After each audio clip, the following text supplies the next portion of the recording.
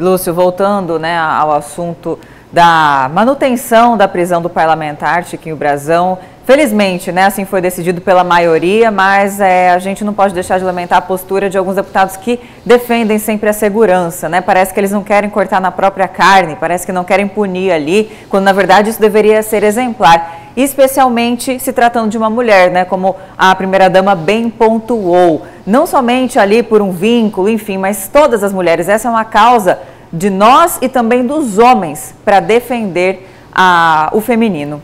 E é isso que, que deixa, né? Felizmente, nesse caso, a manutenção da prisão foi a decisão.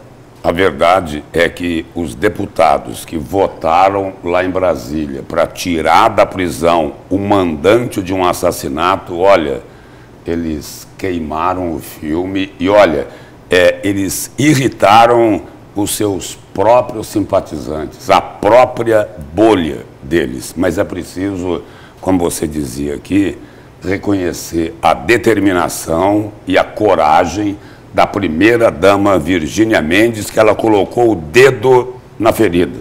Quero repetir a frase dela. Não foi com as esposas deles, né? Pois é. Não foi.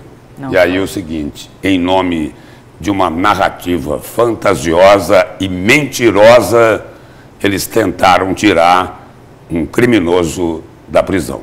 E um dos crimes mais graves, um duplo homicídio, Lúcio. Inadmissível. Contra uma mulher. Uma mulher e também o seu motorista. Duas pessoas assassinadas.